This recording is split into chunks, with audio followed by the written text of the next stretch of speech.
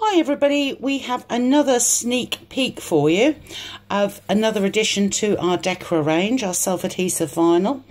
This one is the coloured toy brick. so same sort of colouring as the jigsaw one we've done, but we've listened to your requests and we've done a toy brick one. So um, if you've ever got any ideas what you'd like to see in vinyl, please do message us through the Facebook page. We're really up for listening to what customers would like to see in vinyl and we will try our hardest to accommodate your wishes. So this is a self-adhesive one again, nice and sticky, easy to weed, easy to apply.